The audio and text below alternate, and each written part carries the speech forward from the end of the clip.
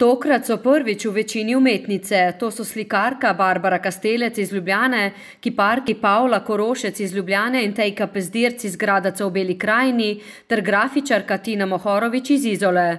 Med tremi udeleženci so slikarji Vladimir Leben iz Sevnice, Marko Zorovič iz Križevcev in Miha Perne iz Ljubljane. Prvič sem na, na teh dnevih, drugače sem imel pa že dve samostojni razstavi v Novem mestu, tako da mi Novo mesto ni neznanka. Tina Mohorovič, ki zdaj živi in dela v Izoli, a je po rodu iz potoka blizu Novega mesta, je bila zelo vesela vabila. Mi je Novo mesto kot okolje veliko dalo. Um, že v preteklosti, tako da sem se prav z veseljem zdaj le mal vrnila.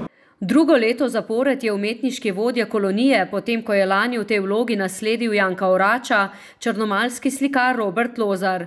Kot podarja, pri letošnjem ustvarjanju prevladuje ženska energija.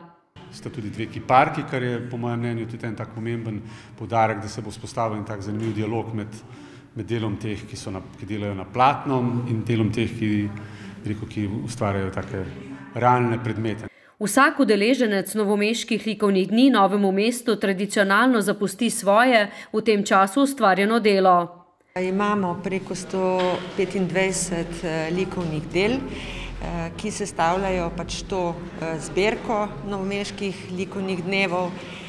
Bilo je seveda tudi preko 100 udeležencev, nekateri so bili že dvakrat, zato se številka čisto ne ujema. Precej del iz zbirke s kolonije je na ogled javnosti v prostorih občine. Ta kulturna identiteta novega mesta danes živi, eh, nimamo samo zgodovine, kot smo jo praznovali lani za stoletnico Noveške pomladi in eh, to je neka, neka posebnost, ki jo želimo seveda razvijati in ohranjati.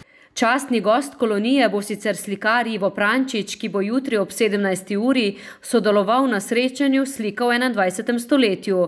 Razstavo nastalih del pa bodo odprli 19. junija.